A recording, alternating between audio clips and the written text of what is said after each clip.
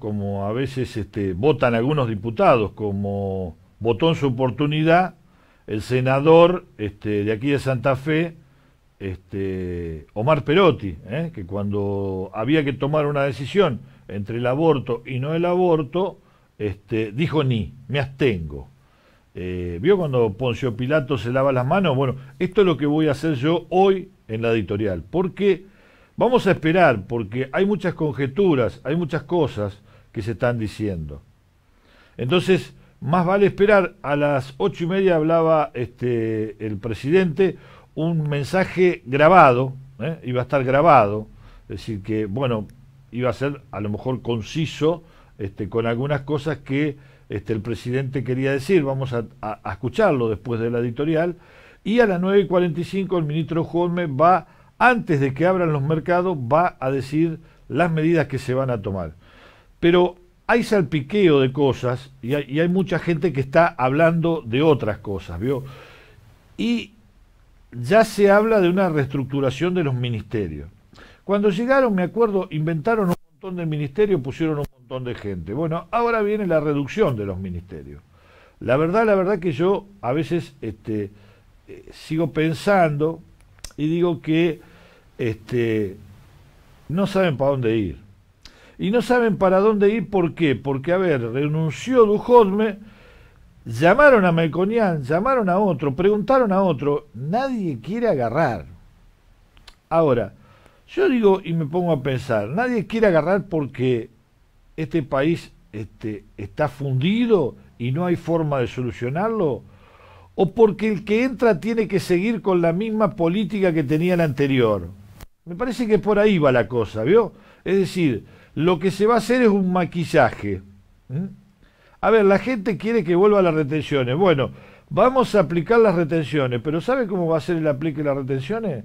Va a ser en pesos no va a ser un porcentaje, sino que cada un dólar va a ser tres pesos. Ahora, cuando usted tiene un incremento, ¿no es cierto?, donde va a recaudar tres pesos por cada dólar, cuando el dólar sale 35 eh, pesos es una cosa, es X porcentaje, pero cuando el dólar salga 50 es otro porcentaje. Entonces se va reduciendo lo que usted va pagando. Esto tendría que aplicarse como se aplicó siempre, es decir, son maquillaje. ¿Vio cuando usted va, este, una mujer va a algún lugar y la maquillan y la dejan linda, ¿eh? y la dejan linda, pero cuando salió y estuvo tres días, este, y se le empezó a ir el maquillaje, empezó la realidad. Esto me parece es lo que está haciendo el gobierno. Porque el otro lado también dice, no, le vamos a dar plata a la gente que no tiene, a los más necesitados, le vamos a dar un monto. Sí, pero un monto provisorio, un monto que no sale por ley, un monto que sale por decreto y que se va a hacer un par de meses y nada más. Es decir, que usted se imagina, si a un jubilado le dan dos mil o tres mil pesos más, que dice, uy, qué bien que voy a estar, y se lo dan por tres meses, al cuarto mes, cuando todo esté aumentado, este, va a perder esos tres mil pesos. Entonces, ahí también tenemos un maquillaje. Entonces, es el maquillaje que muchos economistas dicen, no, yo para entrar en este maquillaje y con, a ver, sabiendo que prácticamente ya el gobierno está terminado, porque queda muy poco para que termine el gobierno. No sé si en un año un nuevo ministro de Economía puede reestructurar esto. No lo sé. La verdad que me quedan mis dudas. Por eso hay un análisis que uno hace de muchas cosas que me parece como que el tiempo se le está terminando. Y no quiero ser pajo malagüero, pero lo que pasa es que todo lo que se está haciendo como maquillaje se va a caer en el transcurso de dos o tres meses.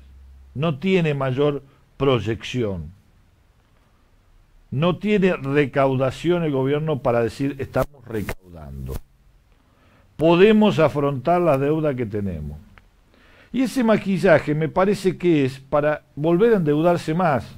Es decir, van a pedir 29 mil millones más al Fondo Monetario Internacional, que supuestamente se los tenía que dar el año que viene para que se lo den este año, porque si no, no van a poder cumplir todos los martes, los supermartes, con la gente que quiera ir a retirar los dólares, se los quiera llevar.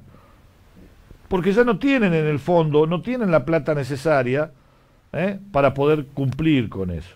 Entonces están atados de pie y mano, así. No tienen alternativa. Pero no tienen alternativas no porque el país no tenga alternativa, porque la política económica que están implementando sí ya no tiene más alternativa. Llegó a su nivel más alto de donde ya no se puede hacer más nada y hay que cambiar de política. Pero claro, el gobierno tiene compromisos muy grandes y sobre todo con el campo, porque su gran campaña, que a lo mejor fue bancada también por gente del campo, habría que averiguar, su meta era sacar las retenciones. Entonces, hoy no puede volver y decir y tener que reconocer que el gobierno anterior con las retenciones había hecho algo bueno, porque tenía una recaudación en dólares, porque la cobraba enseguida y porque se juntaba con dólares ¿eh? para decir, bueno, acá tengo mi reserva en dólares para poder este, seguir funcionando internamente en el país. Pero como no tienen, no pueden dar ese brazo a torcer tampoco, van a seguir con la misma política. Hay cambios en el ministerio, se achican los ministerios, sí, pero ¿sabe cuáles son los dos ministerios que se achican supuestamente? El de trabajo que va con producción y el de salud, porque ninguno de los dos va a tener ningún importe que uno diga importante como para poder manejar. ¿Se acuerdan que hablábamos de la vacuna de la meningitis, que ya no se reparte más? Y así va a empezar a suceder en salud y se va a empezar a achicar todo lo que sea salud para la gente. Entonces, ¿para qué vamos a tener un ministro? Más bien lo unimos con otro ministerio, hacemos un solo ministerio y le demostramos a la gente que estamos achicando el gobierno. Estamos achicando, miren, nosotros estamos achicando, estamos reduciendo nuestra planta. Y es mentira. Lo que van a seguir reduciendo es lo que le van a dar a la gente. Porque sí tienen que reducirlo para que después de las 9.45, cuando hable el ministro de Economía Dujome y dé las pautas, las nuevas cosas que se van a diagramar de aquí en adelante, pueda ir al Fondo Monetario Internacional y decirle, muchacho, acá está, miren, esto es lo que vamos a hacer, ¿eh? vamos a reducir esto, vamos a reducir esto, vamos a reducir, para que le den los 29 mil millones de pesos. Ahora, a ver, vamos a, hacer un planteamiento. Eh, uno no quiere que esta gente se vaya, quiere que termine el gobierno. Pero ¿a qué costo vamos a tener ese final de gobierno? ¿A qué costo económico lo vamos a tener?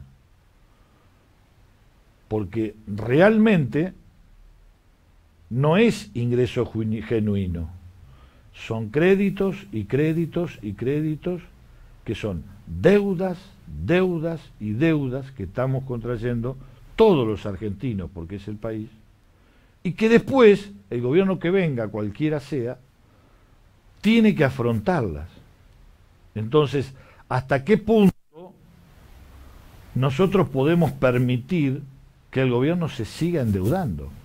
Para pagarles a esos que hicieron la timba financiera y que se llevan la plata, porque esa es la realidad de las cosas no traen la plata para reactivar el mercado interno, no traen la plata para aumentarle los sueldos a los empleados para que haya más consumo, no, no traen la plata para eso, traen la plata para pagarle a los que apostaron a la timba financiera durante estos dos años y medio. Esa es la plata que necesitan. Entonces me tengo que poner a pensar hasta qué punto yo puedo querer que un gobierno, por más que sea elegido por la gente, siga endeudándome para ese tipo de cosas.